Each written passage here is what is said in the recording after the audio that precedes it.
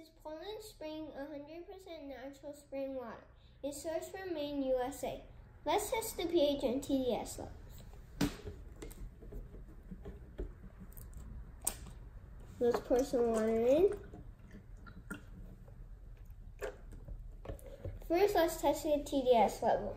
If you want to buy this TDS tester, check the link down below. Turn on the TDS tester, make sure it says zero, and put it in.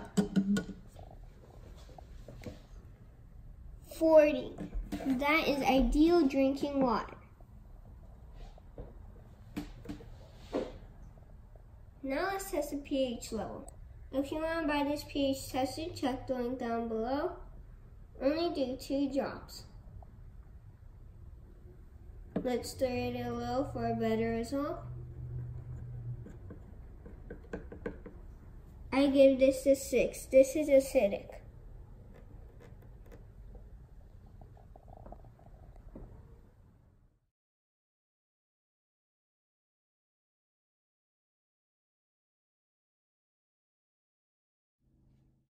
Stay tuned, like and subscribe.